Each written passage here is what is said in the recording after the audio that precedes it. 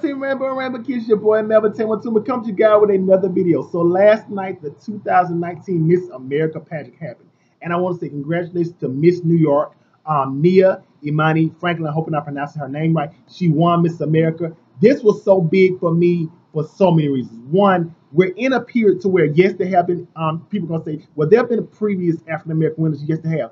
But um, a lot of them that won there wasn't a big as big issue as colorism, especially involving social media as it is now. And for her to show that a brown skinned black girl could be elegant, classy, um, smart. And then she won in a year that was swimsuit free. It was a swim swimsuit free pageant. And it was just um, just a, a, a, big thing, I think, for black girls out there because she showed the black girls out there you can be classy, you can be smart, and you can be Miss America because that's what she is. Also, she won on the night, the same night that BET aired Black Girls Rock and Black Girl Magic. So that was another plus.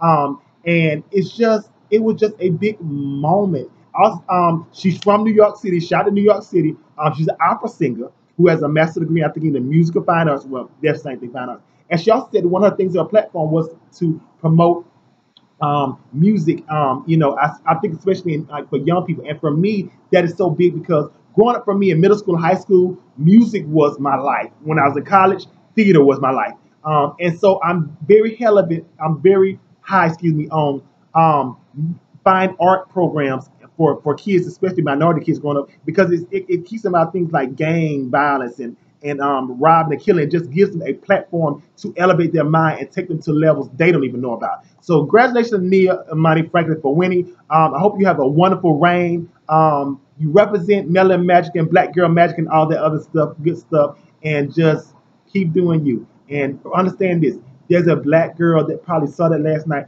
just looking at you and saying, "Wow, I can be Miss America." And this is my America as well as it is everybody else.